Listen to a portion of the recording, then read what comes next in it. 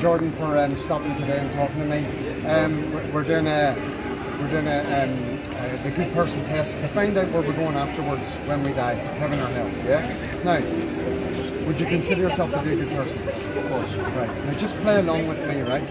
Um, when we die, God's going to judge everyone by the same standard. The standard is going to use is not religion, yeah? Because all religions are works righteousness.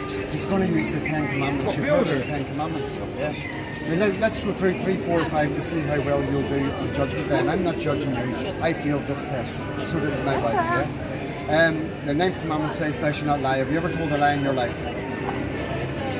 So have I. What do you call someone who lies? If I lied to you, what would you call me?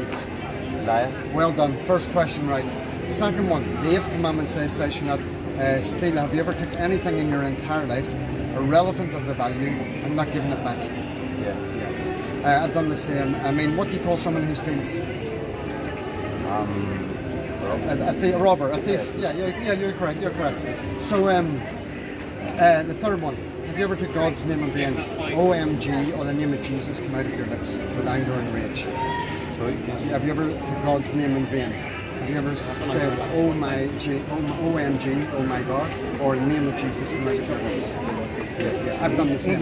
Now, that's very serious. If I was to take your, someone you love, your mum or your dad, your brother or sister's name, and I used it as a swear word, yeah, taken in vain, it's called blasphemy in the Old Testament, and that would have been a death sentence in the Old Testament, yeah. So we'll do two more, and we'll stop there, yeah, because I'm going to give you some good news. But um, the uh, you're not married.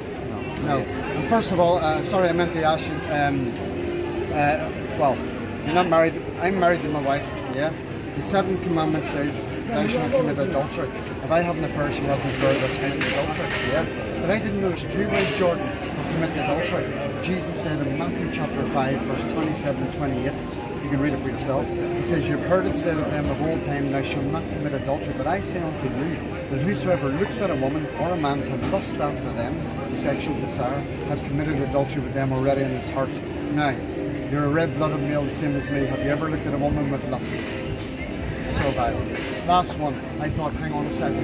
Thou shalt not kill. I've never killed anyone. I'm okay. Yeah? I was wrong. The thought life is going to seize our thought life, our thoughts, our words, and our actions. Yeah? So, have you ever hated anyone in your life? To hate someone. Yeah? You know what I mean, don't you? Yeah. So, have you ever hated anyone in your life? because hatred God sees as murder of the heart. It says in 1 John 3.15, Whosoever hates his brother has committed murder of the heart, and you know that no murder have eternal life abiding in him. Yeah? So when we've thought all manner of evil against that person, um, God's seen those thoughts, and He's going to judge us for those thoughts. Yes, so you've done that as well. So that's that, that's murder of the heart, shalt not kill. Not only physically, but mentally. Yeah? So let's stop there. That's five of the Ten Commandments, and thank you for being patient with me. Thank you for bearing, for bearing with me and listening to me. But what I'm telling you is the gospel truth. If you died today and you went before God, yeah, God would judge you by the Ten Commandments. We've done five. You'd see you now, Jordan, as a lying, thieving, blasphemous, adulterer, and a murderer at heart. If God were to judge you by the Ten Commandments, would you be innocent or guilty?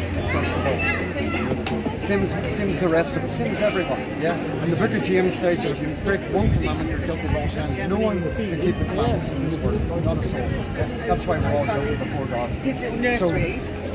I'm like, oh, Innocent or guilty? You said guilty. Where would God send guilty people? Heaven or hell? God, Or are you just moving things? every second, forgive. Right, thank you that you said that. I'm glad that you said that because there's two sides to God. God is uh, God of justice.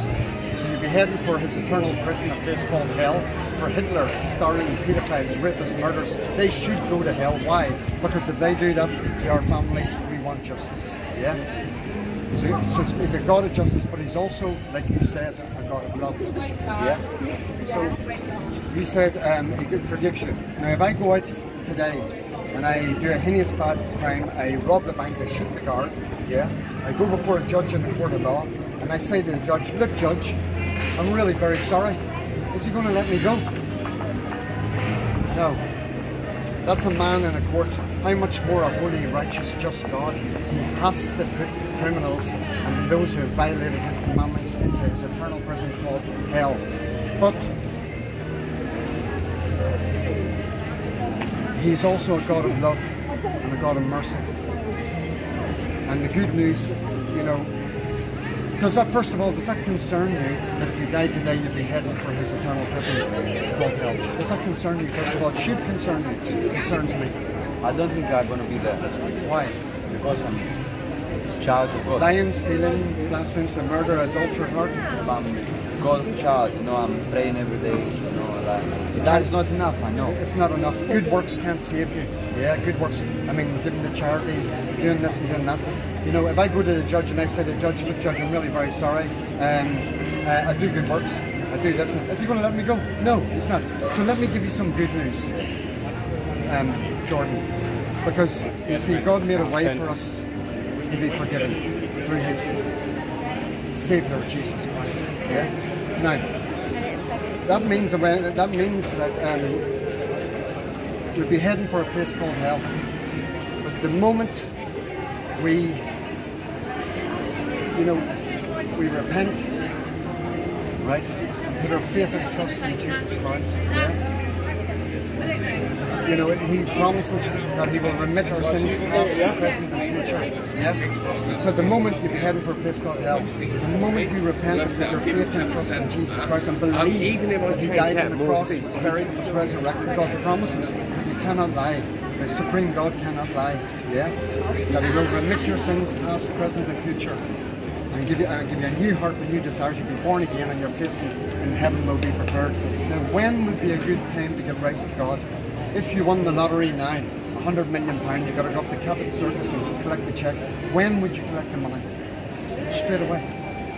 All I'm asking you to do is this: is before you put your head on the pillow tonight, have a think about what I said to you today. It takes two seconds to get right with God. Number one, to ask forgiveness is what we must do. Forgive me, I've sinned, I've lied, I've stolen, I've blasphemed, I've, I've done all of these things. Have mercy upon this sinner. I'm sorry, please forgive me. I submit the surrender my life unto you from this day forth. Put your faith and trust in the Saviour, Jesus Christ. And the moment you do, your place in heaven is prepared. I done it 20 years ago, and I'm 20 years clean now because of it. Yeah? The second thing we must do, and the most important thing we must do, is to transfer our goodness. Because we're not good people, George. We're attracted to bad more than good. Transfer our goodness from ourselves and put our faith and trust in the Saviour who paid the price for us on the cross. Okay? The moment, the moment we do, God will forgive us and, our place in heaven will be prepared. You're powerful. Thank you very much for listening to me today. Um, just before we go, I got to ask you a couple of legal questions. Number one, are you over 16? I'm, I'm 20. Good man. Number two, is it okay for me to show this video on YouTube and, and website and social media purposes? Yes. Thank you very much. And uh, thank you me. And I hope to give same advice to the people like me. But the most important thing is your eternal destiny. I love you and I care about you. I don't want you to go to. I don't. I don't. child, but you know. I, I don't want you to go, but you've got to repent and put your faith and trust in Jesus Christ alone. Do you understand? um. That's right. I got the gospel track. I'll give you. I'll give you this one. What I've done with you is this one. The good person test. And thank you very much for listening to me today. But remember, takes seconds right with God. Do that tonight. We're not guaranteed tomorrow. 54 million people die every day. It's a lot of people. We're in a graveyard. It's all the age groups. Listen, uh, thank you very much.